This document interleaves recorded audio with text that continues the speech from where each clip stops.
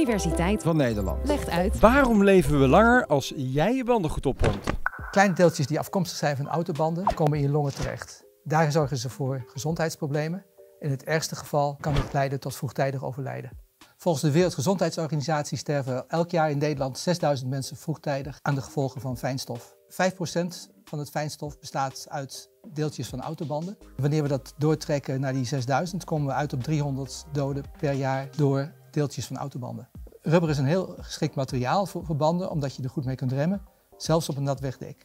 Het nadeel is dat de banden slijten en daarbij kleine deeltjes achterlaten uh, op de weg. Er zijn twee manieren van slijten. Ze hebben allebei te maken met wrijving. De eerste is de beweging over de weg. De weg kun je dan zien als uh, schuurpapier, waarover de band normaal rolt. En dan slijt hij nog niet zo heel erg hard. Maar wanneer je gaat remmen of optrekken, dan gaat de band echt schuren en dan wordt de slijtage een stuk meer. De deeltjes die van de band afkomen, die kunnen zich verbinden met slijtdeeltjes die afkomstig zijn van de weg.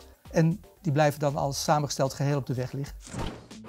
De tweede manier van slijtage komt ook plaatselijk heel snel opwarmen. Rubber bestaat uit, voornamelijk uit polymeren en die kun je je voorstellen als kale kettingen. Die liggen dus opgerold in het rubber. Wanneer je hard gaat optrekken of hard gaat remmen, dan vervormen die kettingen ten opzichte van elkaar, die zullen bewegen.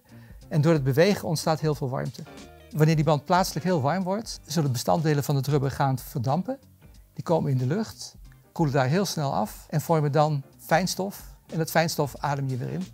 De deeltjes die van de banden afkomen zijn niet allemaal even groot. De grootste deeltjes zijn een paar honderd micrometer, altijd nog een fractie van een millimeter. En die blijven op de weg liggen en wachten tot ze weggespoeld worden door de regen. De kleinste deeltjes zijn in de orde van 10 micrometer. En dat is kleiner dan de doorsnede van het menselijke haar. Die zijn zo klein, die blijven in de lucht hangen. Die vallen dan onder de categorie fijnstof en die kunnen we inademen. Afhankelijk van de grootte van de deeltjes komen ze op verschillende plekken in je lichaam terecht. De grootste deeltjes komen niet verder dan je mond en je keel en die adem je waarschijnlijk ook weer uit.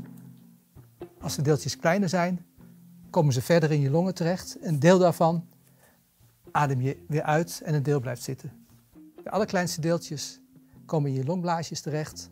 In je longen kan het fijnstofontstekingen veroorzaken.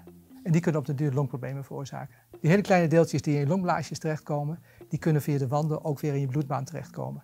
En de ontstekingen die daarbij ontstaan, die kunnen zich ook door het hele lichaam verspreiden. Uit onderzoek blijkt dat fijnstof kan leiden tot longproblemen, hart- en vaatziekten en in het uiterste geval tot vroegtijdig overlijden.